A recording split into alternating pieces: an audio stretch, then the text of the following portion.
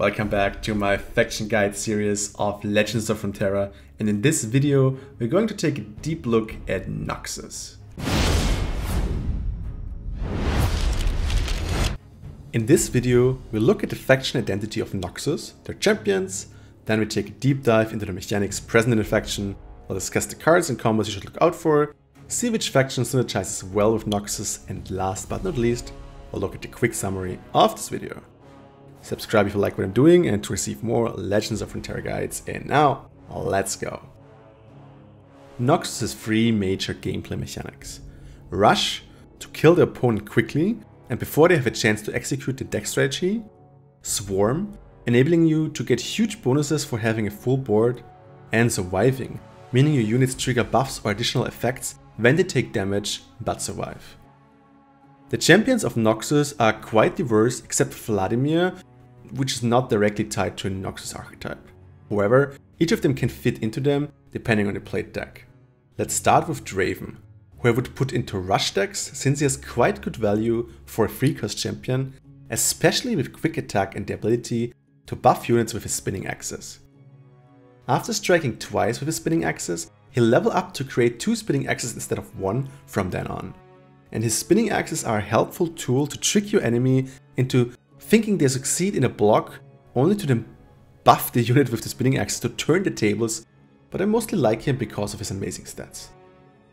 Katarina is a very special champion and a trickster per excellence. As soon as she struck, she levels up and recalls back to your hand. From now on, she will recall on the keyword strike, not attack, which means that she won't die anymore from any damage she takes because she recalls before the damage is applied to her. In addition, she can ready your attack now, meaning you can attack twice or even three times in a round or attack when you're on the defending side, which can be a huge thing for rush decks, especially and this is why she can be a huge asset. The only downside to her is that you need to pay 4 mana every time you want to drop her, but depending on your board state, this is a good price to pay for multiple attack opportunities.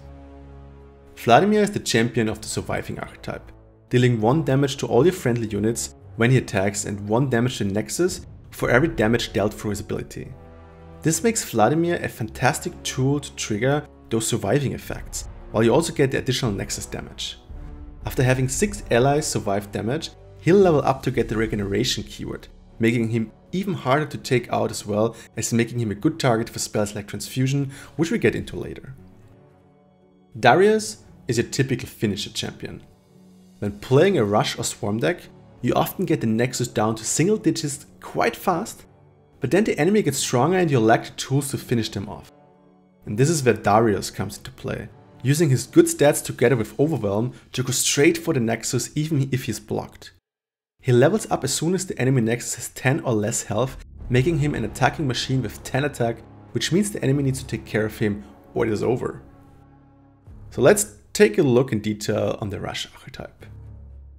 Legion Rearguard is one of the most basic rush cards. A one cost card with amazing stats but unable to block, lets you tuck hard early on before the enemy can build up a defense. Draven's biggest fan lets you pull out Draven early so he can support your rush and with Elixir of Wrath, Draven can, still, uh, can stay alive because thanks to quick attack, Draven won't take damage if he kills a blocking enemy. Legion Saboteur gives you a bit of direct nexus damage and Trifarian hopefully or typically plays as a 5-2 for 2 costs, which allows you to hit hard in round 2 already. Legion Grenadier is another good attack card with free attack and on death, it will deal 2 damage to the enemy nexus as a bonus. Brothers Bond grants 2 allies plus 2 and typically is played in round 3 when you have 2 hard hitters on the board already and it's your turn to attack. Reckless Trifarian is another card can't block with amazing stats and if uh, Shiraza the blade hits the nexus, she will do double damage. All those cards enable you to rush down the enemy nexus within the first rounds, but if the enemy pulls up a good defense, you need something more. You need Intimidating Roar. Roar stuns all enemies with 4 or less power, opening up the enemy defense for you to deal the lethal blow. Swarm is all about putting a lot of units on the board and then benefiting from it. Except for House Spider, which gives you 2 units within 1 card, Noxus doesn't have too many cards that can put at multiple bodies in a turn, but therefore you can utilize a lot of your cheap rush cards to get those bodies on the board. after your board is filled, you then play cards like Arena Battlecaster and Crowd Favorite to get the payoff from swarming. At first glance, Trifarian Assessor looks like a poor late game card, but by buffing up your units with cards like Battlecaster, you can create 5 power allies to then make even more use of her ability. Decisive Maneuver helps you to trigger Assessor as well, by giving your board a good attack boost and taking out the biggest defender of the enemy. Playing Maneuver is often the finisher you need to win a Swarm strategy. Surviving has a ton of support in Noxus for cards like Blade's Edge and Death Lotus, triggering all your surviving abilities, or Transfusion, which triggers survive on one ally while buffing up another ally for this round. Blood for Blood is another trigger, while enabling you to copy an ally, which is especially useful in cards like Crimson, Disciple, Dis Crimson Disciple, there we go, which deals 2 damage to the enemy nexus when it receives damage. Crimson Aristocrat triggers Survive, while buffing the ally, and Crimson Curator creates more Crimson cards, which typically have a Survive synergy when he survives damage.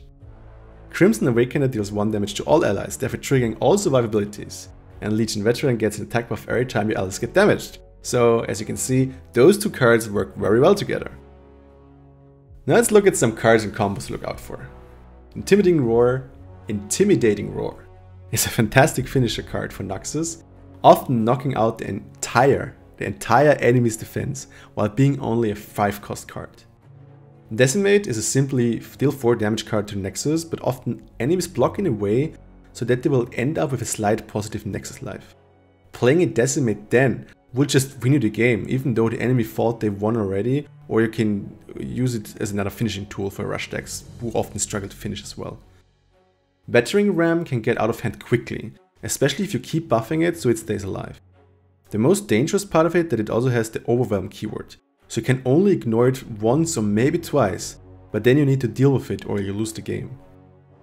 Arena Bookie is not the most powerful card you've seen, but I want to mention it anyway, because this card does not so much in term because this card does so much in terms of consistency.